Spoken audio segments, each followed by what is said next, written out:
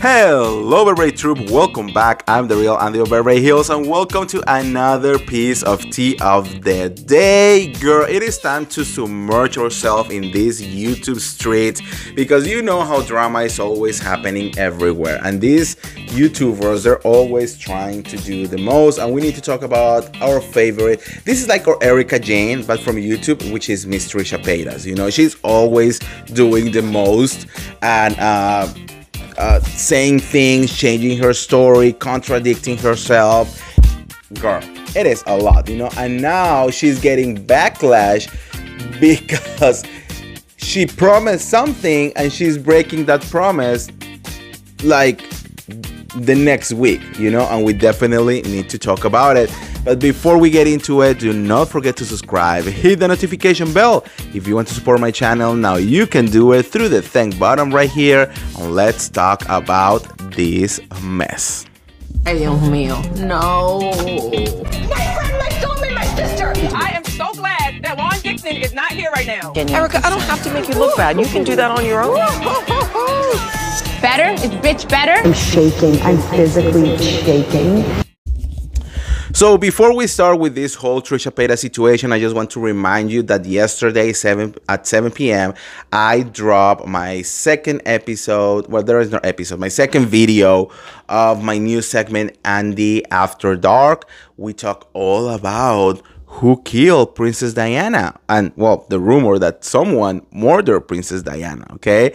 So it was very interesting. So if you haven't watched that video go to my Andy After Dark uh, playlist and go and watch it ASAP all right so Miss Trisha Paytas, you know, she is supposedly be going through this journey of self-discovery, you know uh, her latest posts have been a lot of like i'm becoming a new person i'm pregnant i'm going to be a mother i'm trying to be better i'm trying to change i'm trying to change for my daughter and not for me. You know she did a whole video on her car eating Domino's basically saying like uh, she knew that her daughter was going to be heavily attacked in the future just for being her daughter, you know, and that she has been looking inside herself and that she will make a lot of changes because she doesn't want that burden on her daughter. You know, Trisha Paytas has have a career made of controversy, you know, made of scandal and drama constantly. And even though she has uh, her her good, you know, uh, part of fans, she has a lot of haters like a lot of haters. She, I mean, I have seen pages, Reddit dedicated to hate Trisha Paytas, to hate, you know, because one thing is comment on the bullshit that you do, and another one is when you cannot breathe because people are hating you for breathing, you know. So I have been seeing Reddit of people hating Trisha Paytas, and I'm like, girl, that's intense. That's a lot, you know. But that's kind of like the power that she's bringing or the energy that she's moving around her.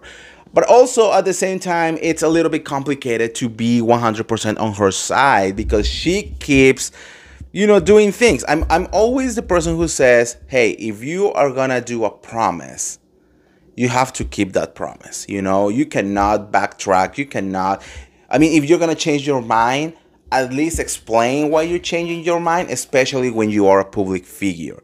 Because I feel that when you become a public figure, the the luxury of doing whatever the fuck you want is lost because now people are literally examining every single step that you do. You know, so you cannot just going around doing whatever you want and expect that no one is going to have an opinion. It doesn't work like that. It works like that for the regular people, the people that doesn't have fans, the people that don't look up to you. You know, those people can change their mind, can do whatever they want, and no one will ever say absolutely anything. You have a platform, you have to respect that platform, and you have a fandom, and you have to respect that fandom. You know, it is what it is. I don't make the rules. It is is just what it is. You know, it's how human behavior behaves. You know what I mean?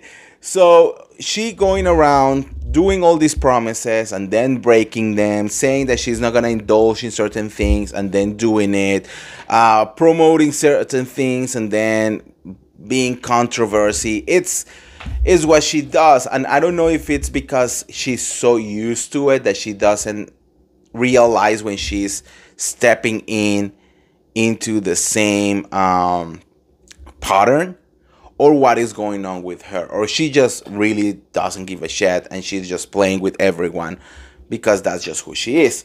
Now the new backlash come because a week ago a couple weeks ago i think on july 9 um, trisha paytas posted that hauls and mukbangs were her well i'm gonna read the tweet. It says haul and mukbangs were me disrespecting myself.